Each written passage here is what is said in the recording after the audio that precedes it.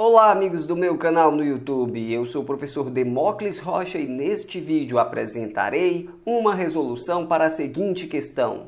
Durante uma festa de colégio, um grupo de alunos organizou uma rifa. 80 alunos faltaram à festa e não participaram da rifa.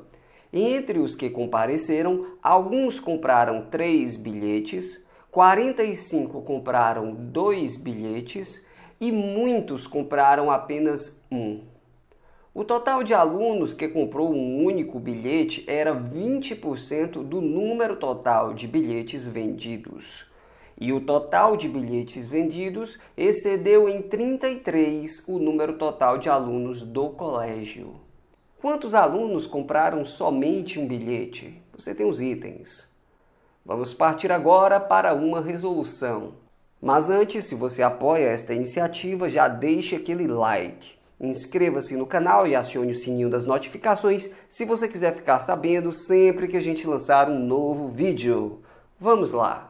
Ok, galera, a questão é bastante clara. Quantos alunos compraram somente um bilhete? É isso que nós queremos saber. Quantos alunos compraram somente um bilhete? De acordo com o enunciado, temos algumas categorias de alunos, digamos assim. Temos 80 alunos que faltaram. Então, quantos alunos faltaram? 80 alunos. Beleza, mas alguns compareceram à festa. Os que compareceram à festa, alguns compraram um bilhete, eu não sei quantos, digamos X. Outros compraram dois bilhetes.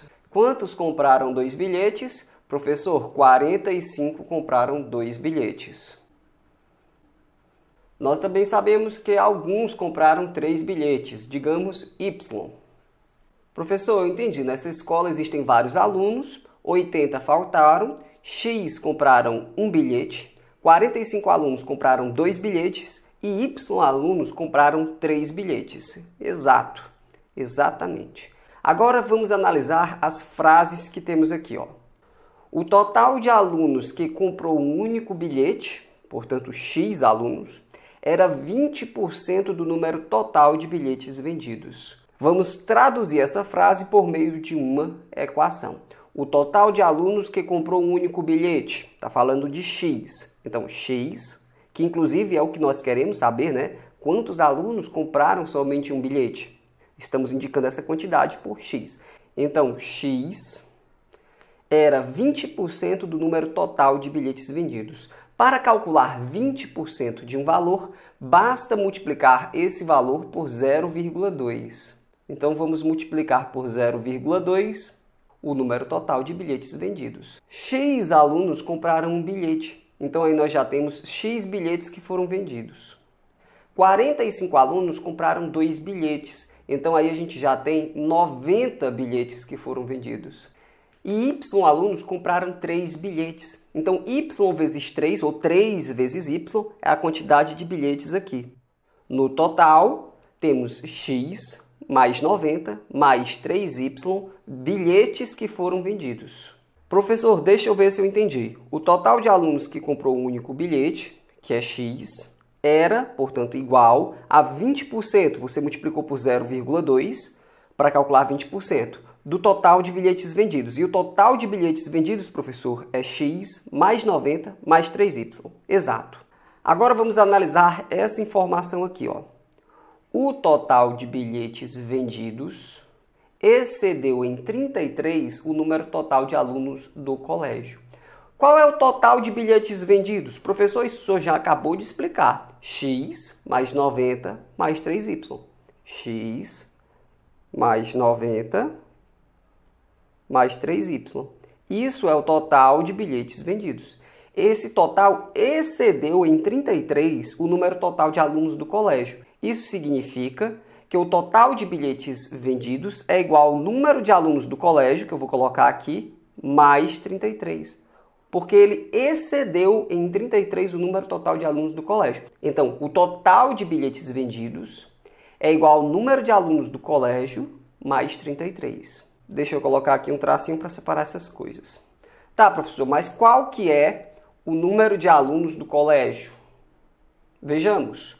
80 alunos, que são os que faltaram, mais X alunos que compraram um bilhete, mais 45 alunos que compraram dois bilhetes, mais Y alunos que compraram três bilhetes. Então, ó, o total de bilhetes excedeu em 33 o número total de alunos. É igual ao número total de alunos mais 33. Ele é 33 a mais do que o número total de alunos.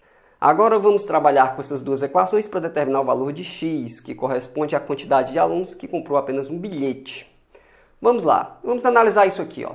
De um lado nós temos x mais 90 mais 3y. Do outro lado a gente nem precisa desses parênteses. Podemos escrever assim, 80 mais x mais 45 mais y mais 33.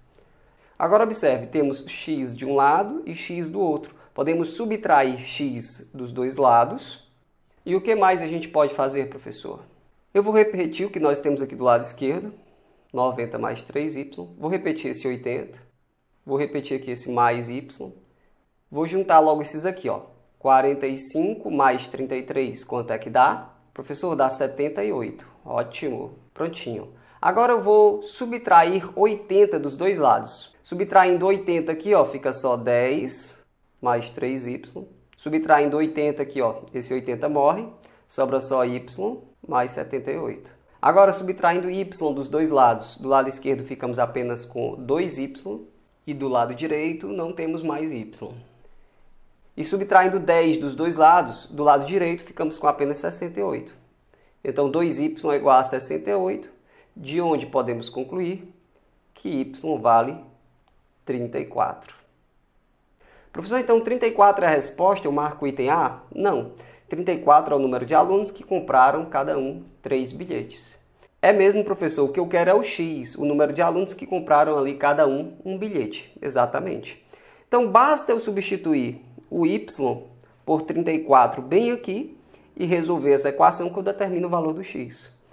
Vamos fazer isso. Aí todo mundo, vamos! Bom, vou repetir aqui o x, esse 0,2, ele está multiplicando aqui x mais 90 mais 3y.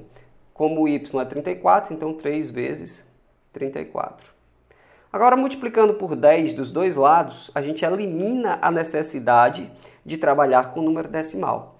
Multiplicando por 10 aqui, ficamos com 10x e multiplicando por 10 do lado direito, o 0,2 multiplicado por 10 dá só 2 mesmo, tá?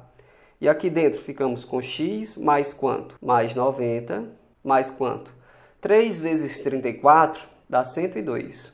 Agora, dividindo por 2 dos dois lados, 10x dividido por 2 dá só 5x. E dividindo por 2 aqui, cancela com esse, sobra só x mais 90 mais 102 dá 192. Agora, subtraindo x dos dois lados, ficamos apenas com 4x igual a 192. Agora, basta dividir por 4 dos dois lados para encontrar x igual a quanto? 4x dividido por 4 dá x, né? E 192 dividido por 4 dá 48. Então, nós podemos dizer que 48 alunos compraram cada um um bilhete. Quantos alunos compraram somente um bilhete? 48 alunos compraram somente um bilhete. Então, item correto, item D de dado. Se você gostou, clique em gostei, deixe um comentário com uma carinha sorrindo se entendeu tudo direitinho. Eu vou gostar de ver. A gente fica por aqui, um abraço e até a próxima. Tchau!